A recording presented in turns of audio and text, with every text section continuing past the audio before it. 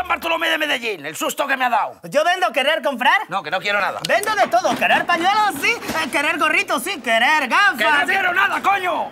Por favor, comprar algo para yo poder traer a mi mujer de mi país. ¿Y tú de dónde eres? Costa de Marfil. Costa de... Pues sí que te ha dado un poco el sol a ti. Está bien, me ha descubierto.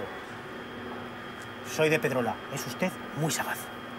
Que hace uno de Pedrola vendiendo en el Tosmanta. Que soy biólogo. ¿Eh? Como Ana Obregón. Ah. Trabajaba en un laboratorio en la Universidad de Zaragoza. Eh, tenía mi propio equipo.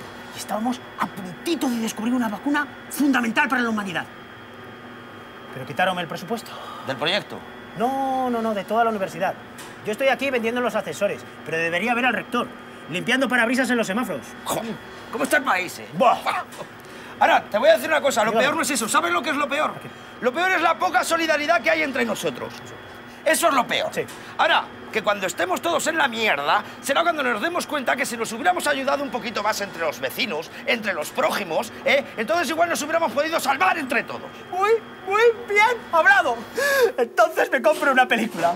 ¿Qué tal de hippie? Me voy al bar a ver el Oregón. Tengo Oregón Pirata, Full HD.